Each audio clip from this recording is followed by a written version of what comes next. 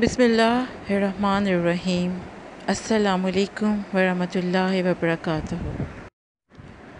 मुहर्रम की आज आठ तारीख़ है।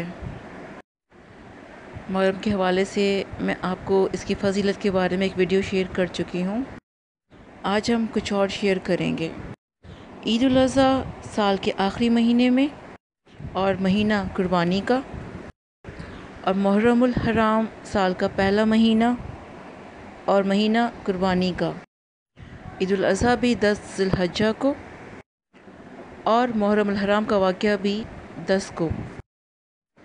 वो भी नबी का लाल, ये भी हज़रत मोहम्मद मुस्तफ़ा सल्लल्लाहु अलैहि वसल्लम के लाल। उनकी भी याद को मानते हैं, इनकी भी याद को मानते हैं। वो ज़िब अज़ीम, ये शहादत अज़ीम। एक ने अपना ख्वाब निभाया, एक ने अपना वादा निभाया। वो सब्र की इब्तदा, ये सब्र की इंतहा। वो काबा को बनाने वाले, ये काबा को बचाने वाले।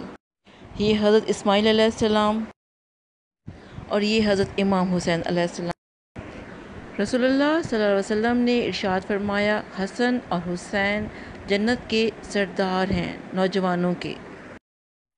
हज़रत अली रज़ी अल्लाह ताला के घर हज़रत हसन की विलादत हुई। मेरे नबी सल्लल्लाहु अलैहि वसल्लम ने पूछा, अली, क्या नाम रखा है? फरमाया, हुर्ब, जंगजू। आप सल्लल्लाहु अलैहि वसल्लम ने फरमाया, नहीं, हसन रखो।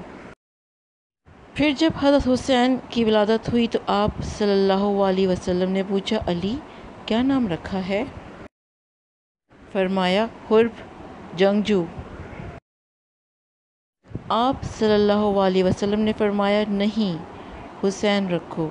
और फरमाया कि जब से हज़रत आदम अलैहिस्सलाम की नस्ल चली है, ये दो नाम अल्लाह ने मेरे बच्चों के लिए रखे थे।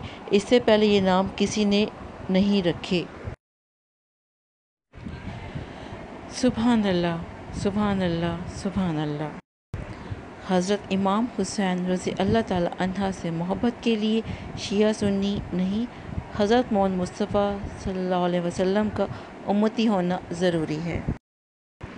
एक और जगह हज़रत मोहम्मद मुस्तफ़ा सल्लल्लाहु अलैहि वसल्लम ने फरमाया, अल हुसैन मिन्नी व अना मिनल हुसैन। हुसैन मुझसे है और मैं हुसैन से हूँ। सुबहान अल्लाह। बास मुस्तंद किताबों में लिखा है कि दस मुहर्रम हराम को हज़रत आदम की तौबा कबूल की गई।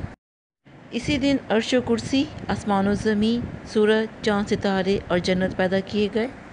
इसी दिन हज़रत सैदना इब्राहीम खलील्लाम पैदा हुए।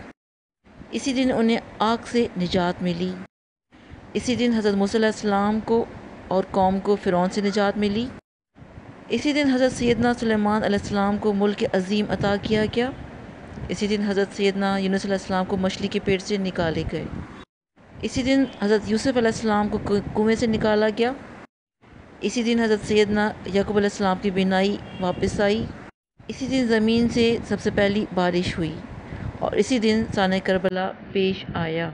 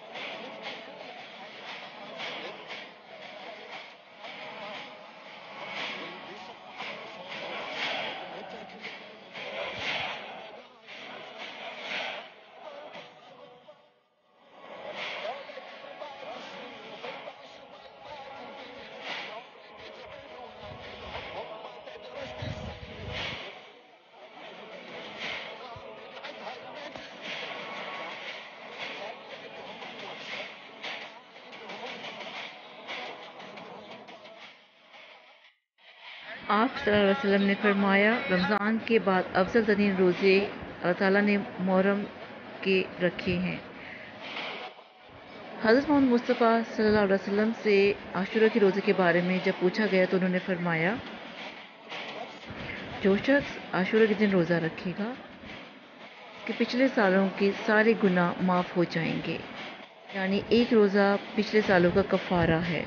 साथ साथ उन्होंने फरमाया कि यहूदियों की मुखालफत करके आप दो रोज़े रखो, या तो नौ या दस या दस या ग्यारह का रोज़ा।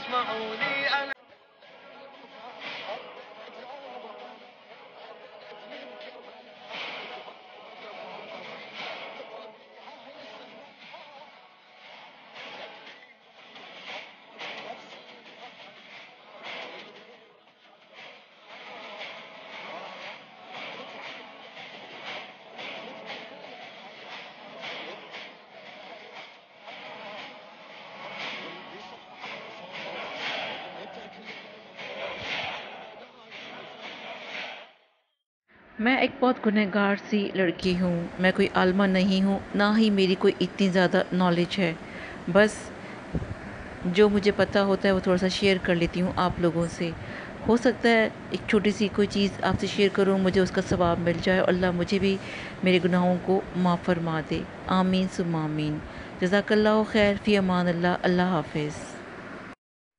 अपना बहुत सारा ख्याल रखिएगा।